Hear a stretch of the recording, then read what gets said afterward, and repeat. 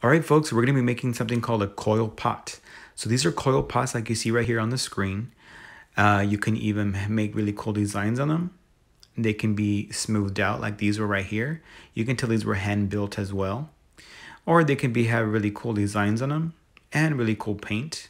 Or you can leave the coils on here like in a pot like this one. Those of you at home, I had told you to buy something called air dry clay. You're going to be using this. And those of you uh, at school, you're going to be using the kiln because I have a kiln room. All right, folks, welcome to another day with Mr. Flores in the art classroom. Today, we are going to be practicing with clay and how to make some clay pots, all right? Tomorrow, we're going to be working and making something called a coil pot, okay? And today, I'm going to show you how to make those. But let's first, let's go over um, what the actual stages of clay are, uh, some terms that we need to use when we're making clay, I'm sorry, building clay, and of course the instructions in order to make our clay pots for tomorrow, okay? So first, let's go over the six stages of clay uh, really quickly, and uh, you should have written down these notes. So the first one was slip. So slip is a watered down clay. So basically that's just adding clay and water together to make a slip, okay? And then plastic, or you can call it also wet, is just when you take the clay right out of the bag or the container and it's very uh, uh, squishy and it's very uh, mobile. You can, you can form it in any way you want to. Leather hard is when it starts to start drying and you really can't move it, all right? And if you move it, it'll just break, okay?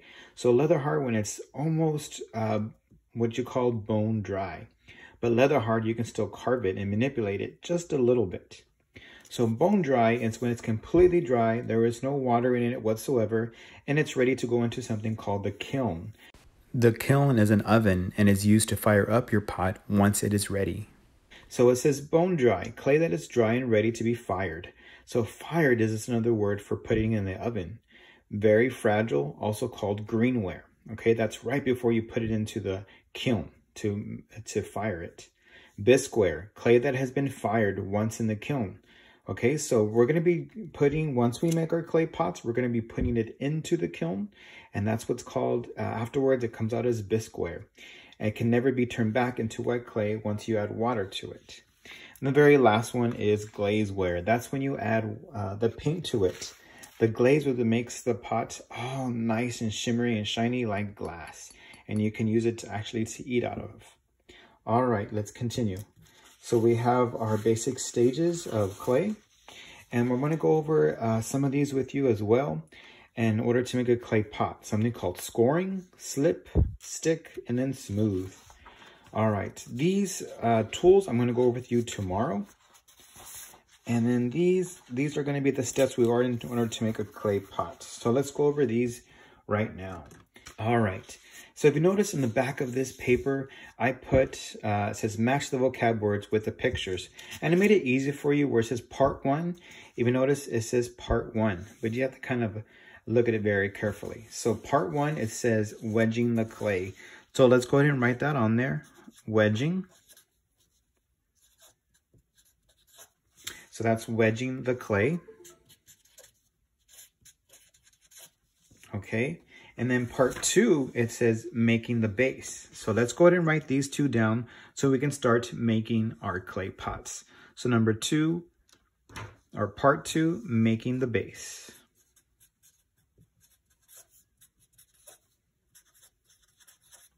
All right, and let me tell you the supplies you'll be needing for today. So today you are going to need a toothpick, and that's for uh, something called scoring, okay? You're going to need something to work on top of. So I have parchment paper or you can work on wax paper. Uh, some a cup of water, of course our clay, and then maybe a butter knife or not an actual knife, but a butter knife or even a plastic uh, butter knife. So these clay pots, uh, this is something you would use the coil method, all right? And see how they're all built up going to top. This is sort of like a plate. And these are just some decorative bowls. You could use them for eating maybe, but they're very tiny. So um, I wouldn't use them for eating out of cereal or anything like this. So I'm going to show you how to make some bowls just like this, okay? We start off with part one called wedging the clay.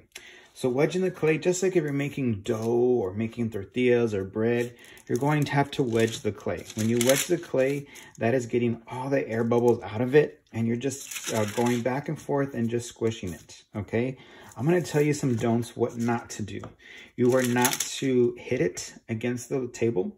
You are not to keep on squishing it and squishing it because if you keep on doing it, it's gonna eventually get stuck to the table.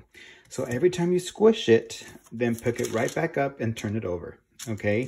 I would only give it about two squishes and then that's good enough or else it's gonna start sticking. If you feel like you got it too flat, just keep on folding it and we can wedge it all over again, okay? So this is a wedging. I want you to get, uh, what we're gonna do is just make a small little pot for today, just a pretend practice pot, all right? So then I want you to do next is cut a circle out of it. All right. And this one is making the base. Okay. I want you to get it uh, maybe the size of a pancake, but no bigger than a hamburger patty. So a big as a pancake. So I'm just going to cut a small circle. And it's not going to have to be a perfect circle because this is just a practice one. Okay, like I was telling you. So I'm going to go ahead and get that circle out and put this extra clay off to the side. And I'm going to form it so it could be nice and uh, round. So again, about the size, thickness of a pancake, but no bigger than a hamburger patty. All right. Perfect. I'm going to squish it down just a little bit, just so it could be nice and flat, but it still has that nice round base. Okay. Now let's go to our next step, part three. Part three tells us to making the coils. So let's go right down here and put on there making the coils. All right. So the reason why we make coils or the reason why this is called a coil pot is because you're building it up with coils. Coils, think of like springs or rolls of, uh, rope or snake. So we've all played with Play-Doh before or even, um, you know, maybe some clay. And how you make coils is you get some clay and you squish it. You're going to roll it back and forth so you can make a snake, all right? And since our pot is just a practice one for today, it's very small. So we're to make very small coils. So this is way too big. And let's keep on going until we make it smaller, okay? And I'm to tell you why we have our toothpick and water out in just a second.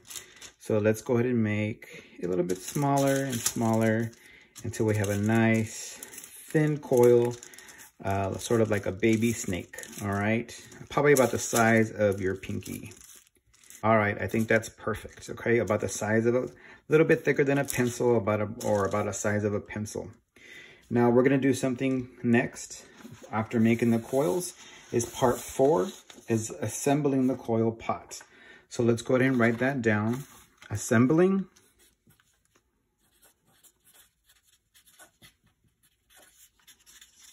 the coil pot.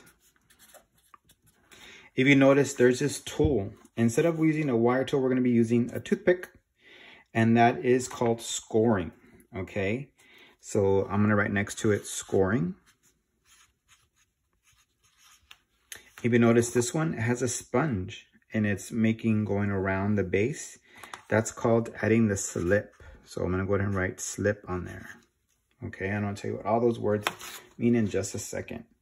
All right, so now we're going to get our base and we're going to do something called scoring. Let me go ahead and zoom in. And we're going to score, and that's just barely scratching it. We're not going to put giant, deep scratches. And what you're doing is, once you're adding these scratches, you're also going to add these scratches or scoring to your coil. Think of them as teeth connecting to each other. And let me show you what that means. So think of it as, I was taught as, think of it as teeth connecting or even a zipper when it's connecting together. Because if it's going flat, if they're connecting flat, they're just gonna slip right off. So we're going ahead, and we went ahead and scored the base. And now we score, let me zoom in for you. And now we score the coil. And you're going to have to do this every time when you're building up your clay pot. And again, this is called the coil method, all right, when you're building a clay pot. So now I have my scoring. If you notice, I didn't do, um, there's not like you know, giant uh, scratches in there. It's just making some nice small scratches to make it stick to our other side. Now we do something called adding the slip, okay? Adding the slip is simply putting your finger into the water and going around the rim of the base. And a slip is just a sticky substance of water, making it stick to the base and the coil together. So now we have this extra piece. What do we do with that? We can get our toothpick and just simply press it to cut it. And we pinch it together. All right. If you're ever confused, you can go back and reference the pictures that I showed you. So we did our scoring. We added our slip. And then we put the coil on and we cut off the excess. And now we're going to do is it says to dip our finger into the water and then we're going to uh, smooth it out, okay? We followed these steps. When we did this, we scored it, added the slip, we stuck it on, and now we smooth it out, which is our last step, okay? So we get our finger, dip it into the water, and we smooth it out, okay? We smooth it out, that way you can get a nice, that way you can stick to it. And if you feel like your finger is too big or it doesn't work as correctly, you can always use this tool, the little knife, to smooth it out as well. But you want to make this nice and smooth. You don't want a bowl or a pot or even a cup to be uneven or misshaped. Notice how I'm putting my fingers on the edge of this and I'm holding it so that way the wall of this first coil won't fall off. And I'm just barely going against the wall so it can not have that line right there. See how I'm making it nice and smooth in there? You don't want this line to be right there. You don't want that at all, okay? All right, folks, can't wait to see these all come out.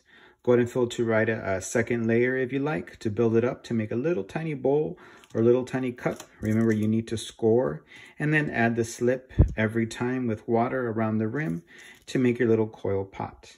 Also, you can leave the coils on the outside looking like a snake, or you can uh, use your tool to smooth it out, or even use your finger to smooth it out. I'll give you some more instructions tomorrow, and I can't wait to see how these little ones come out.